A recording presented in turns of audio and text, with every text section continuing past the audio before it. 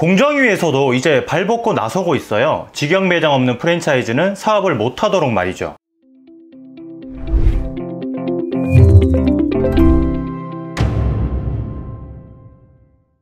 안녕하세요 장사건프로입니다 오늘 드릴 말씀은 직영 매장 없이 가맹 사업을 하는 프랜차이즈에 대해서인데요 이미 눈치채셨겠지만 직영 매장이 없다는 건 그만큼 본사도 자신들의 매장에 대해서 잘 모른다는 거예요 참 웃긴 이야기죠 정녕 가맹 사업을 진두지휘하는 본사가 본인들의 매장을 잘 모른다니 그런데 사실입니다 이건 대부분의 전문가들에게 물어봐도 똑같이 얘기하는 부분이고요.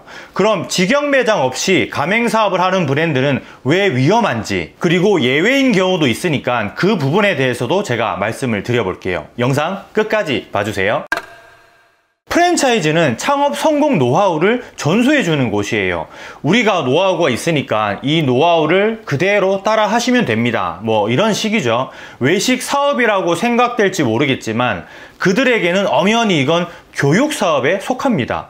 그들은 가맹점들에게 이런 노하우를 교육하고 성공으로 이끄는 일을 하는 곳이니까요. 그럼 성공 노하우를 가르쳐 주려면 당연히 성공 모델이 있어야겠죠. 그런데 그런 성공 모델 없이 가맹 사업을 하는 곳이 너무나 많아요.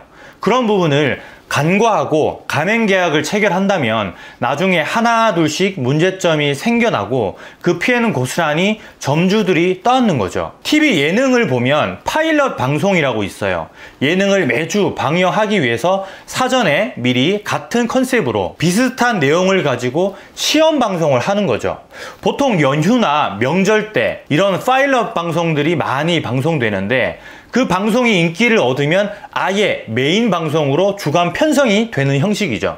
직영 매장과 좀 비슷한 맥락이라고 보시면 돼요. 국내 외식 사업에서는 치킨이 가장 대중적이니까 제가 치킨 브랜드로 설명을 한번 드려볼게요. 현재 국내에 등록된 치킨 프랜차이즈는 무려 500여 개에 달합니다. 이 중에서도 named라 부를 수 있는 가맹점이 많은 10개의 브랜드만 놓고 보더라도 직영점이 없는 곳이 참 많아요. 모르셨다고요?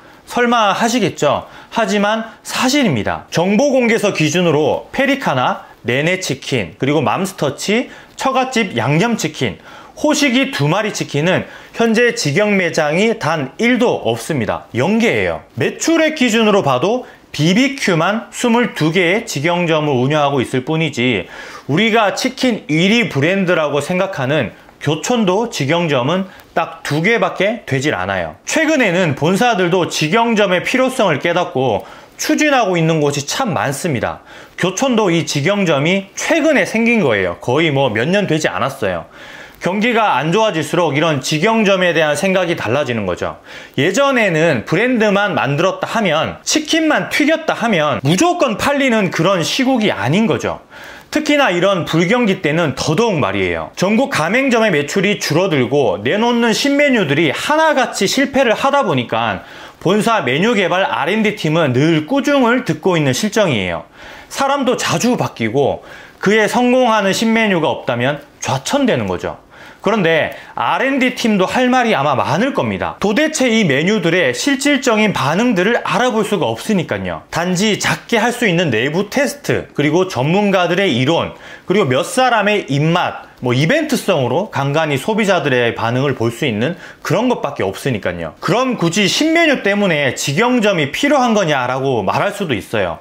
그런데 그건 또 아니에요. 신메뉴보다 더 중요한 게 수익성이에요 수익성 직영점을 운영해 보지 않고는 가맹점들의 실질적인 수익성을 제대로 파악하기가 힘들어요 본사에서는 몇 퍼센트의 마진이 남는다라고 하지만 이건 단지 이론에 근거한 시스템을 구축해놓고 그 이론을 가맹점들에게 설명하는 정도죠. 우리는 이 정도의 마진이 나온다고 얘기하는 부분이 가맹점주들에게 충분한 내용을 전달하지 못한다는 겁니다. 그들이 분명 전문가이지만 실제 테스트 매장이 없다면 가맹점주가 겪을 무한한 문제점들을 모두 다 파악하지는 못한다는 거예요. 경영 방식에 대한 문제, 세금에 대한 문제, 그리고 손익에 따른 문제, 이 모든 것들이 직영점이 없다면 본사는 제대로 가맹점주들의 마음을 이해하지 못하는 거죠. 물론 그간 사업을 하면서 쌓아온 데이터가 있기 때문에 운영이 되긴 됩니다. 앞서 말씀드린 것처럼 전국 수백, 수천 개의 가맹점을 가진 본사가 아직까지도 살아있으니까요. 그런데 얼마나 많은 가맹점들이 창업과 폐업을 반복할까요?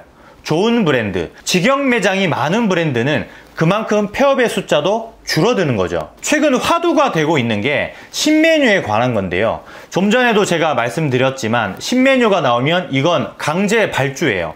손님들이 좋아할지 안 좋아할지 모르지만 본사에서 강압적으로 발주를 넣게 합니다. 아니 그냥 강제로 그냥 배송을 해줘요. 제가 발주를 하지 않더라도. 본사도 신메뉴를 팔아야 이윤이 남고 돈 들여서 만든 메뉴이니까 홍보를 해야 되잖아요. 그런데 전혀 테스트되지 않은 날것이죠. 출시하고 나서야 진짜로 팔아보고 나서야 고객들의 반응을 볼 수 있으니까요. 최근 만난 한 외식업 코치님이 그러시더라고요. 실전에서 현장에서 노하우를 쌓은 곳이 아니면 걸러들여야 된다고 말이죠.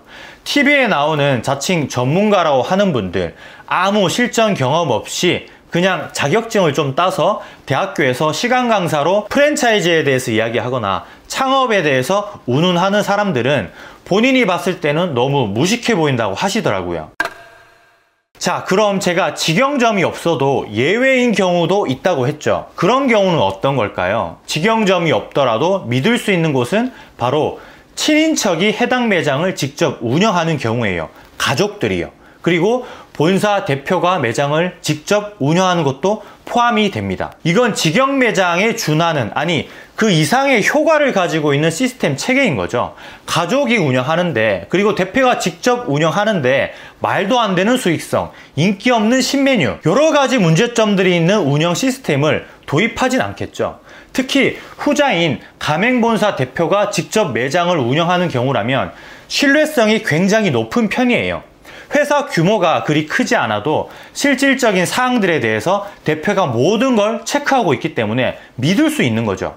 요즘은 이런 브랜드들이 참 많습니다. 흙 속의 진주라는 말이 있죠. 저는 이런 브랜드를 그렇게 부르고 싶어요. 창업비도 다른 대형 프랜차이에 비해 비교적 저렴하고 지원 시스템도 파격적이죠. 왜냐하면 다이렉트로 모든 게 다 전수가 되니까요. 기회를 잡을 수 있는 거죠. 프랜차이즈를 운영하시든 아니면 개인 업장을 운영하시든 장사를 해보신 분들이라면 현장에서 일어나는 정말 여러 가지 변수에 대해서 아마 잘 아실 거예요. 이건 장사를 안 해본 사람과는 대화가 통하지 않을 정도로 너무나 많기도 하고 똑같은 상황이 매번 일어나는 게 아니다 보니까 슬기롭게 헤쳐나가는 지혜가 필요하죠. 그럴 때 도움을 줄 수 있는 것도 바로 프랜차이즈 본사이고요. 슈퍼바이저라고 담당 매니저가 붙는 곳이 많은데 그런 분들에게 물어봐도 그들은 장사 한번 해보지 않은 사람들이 태반이기 때문에 본사에서 배운 이야기밖에 매뉴얼대로밖에 해줄 수가 없어요 말을 이런 면에서는 오히려 소규모로 대표가 직접 매장을 운영하면서 터득한 노하우와 해결 방법들을 배운다면 좀 더 빠르게 성장이 가능하겠죠. 단 그렇다고 모든 프랜차이즈의 잣대를 직영 매장에 비교할 수는 없어요. 제가 그렇게 단정지어서 얘기해버리면 직영 매장 없이 진정 가맹점을 위해서 노력하고 있는 많은 프랜차이즈들이 쌍심지를 켜고 달려들 거예요. 우리나라는 이미 직영점 없는 시스템으로 프랜차이즈가 이때까지 커왔기 때문에 어쩔 수 없어요. 제가 말씀드리는 건 좀 더 좋은 점수를 줄 수 있다. 그 정도로 받아들여 주셨으면 해요. 외국 미국의 사례를 보더라도 미국이나 일본 그리고 다른 유럽 국가들도 직영 매장이 없으면 프랜차이즈 사업을 아예 하지 못하도록 법으로 규제하고 있는 만큼 중요하다라는 것, 그 부분을 생각해 보시면 참 좋을 것 같아요. 아, 그리고 또 한 가지, 푸차 상담을 할 때도 왜 직영 매장이 없는지 물어보는 것도 하나의 방법이겠죠. 어쨌든 오늘 이 내용이 앞으로 장사를 준비하고 또 프랜차이즈를 생각하시는 분들에게 작게나마 도움이 되었으면 하는 마음입니다. 이상 장사 공프로였습니다. 감사합니다, 여러분.